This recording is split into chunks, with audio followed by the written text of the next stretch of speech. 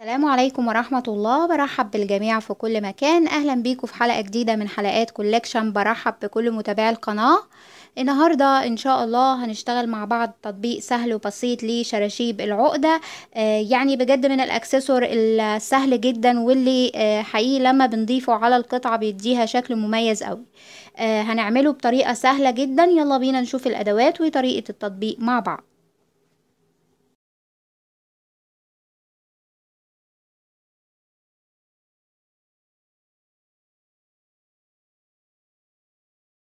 الادوات اللي هنحتاج لها هنحتاج طبعا للخيوط اللي هنشتغل عليها آه بأي خامة متوفرة عندك آه يعني ممكن صوف قطن أو حتى خيوط التيشيرت ممكن تعمليها آه كمان من الخيوط القنفال اللي هي رفيعه آه أي خيوط متوفرة عندك سواء كانت صوف مكرميه فرنساوي أي حاجة.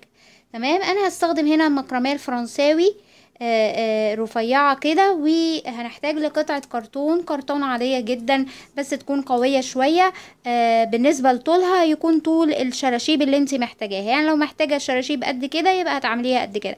أصغر شوية هتصغريها وهكذا. تمام؟ يبقى بنعملها كده بمقاس مناسب على الشراشيب طول الشراشيب اللي إحنا عايزينها. وهحتاج لإبرة كروشيه تكون رفيعة شوية. أنا هستخدم رقم اتنين مليمتر وهحتاج للمقص.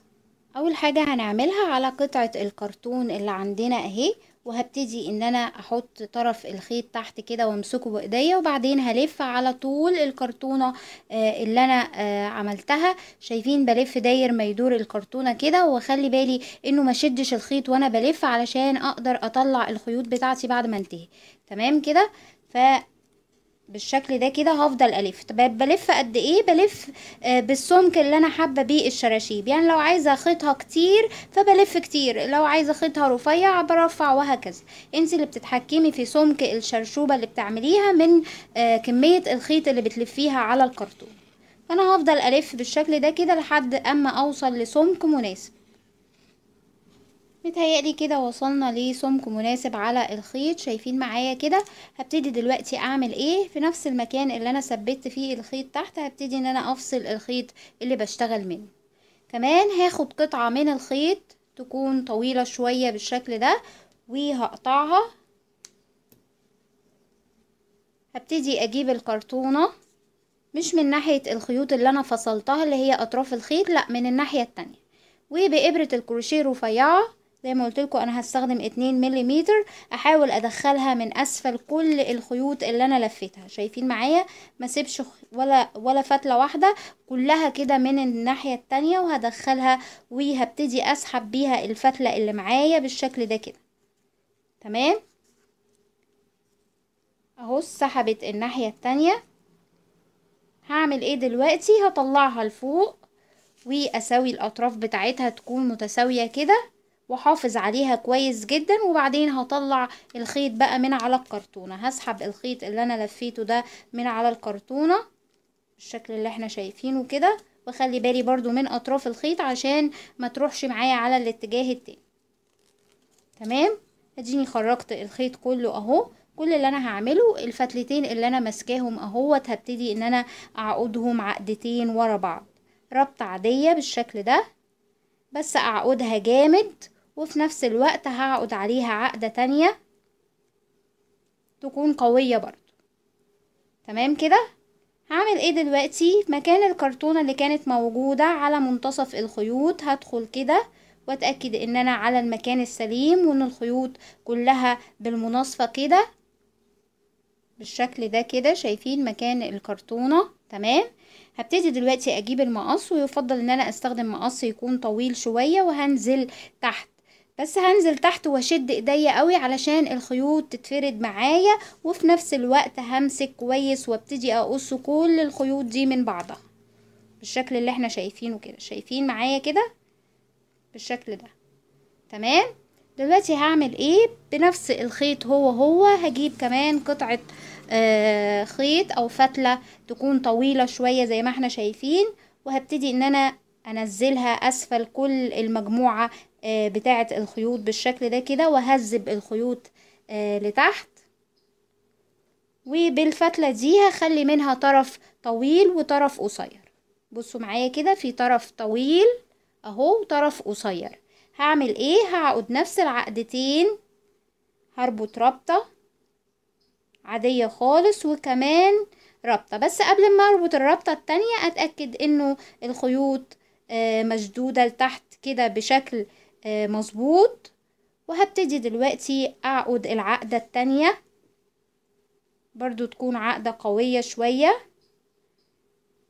بالشكل اللي إحنا شايفينه كده. شايفين في فتلة قصيرة وفتلة طويلة. الفتلة القصيرة دي هعمل فيها إيه دلوقت؟ هسيب الفتلة الطويلة ديت على الاتجاه التاني كده والفتلة القصيرة هاجي بإبرة الكروشيه رفيعة وهدخل أسفل العقدة أو أسفل الخيط اللي أنا لفيته على آه، مجموع الخيوط. شايفين؟ هدخل أسفل الفتلة أهو هشد الطرف القصير أسحبه للداخل.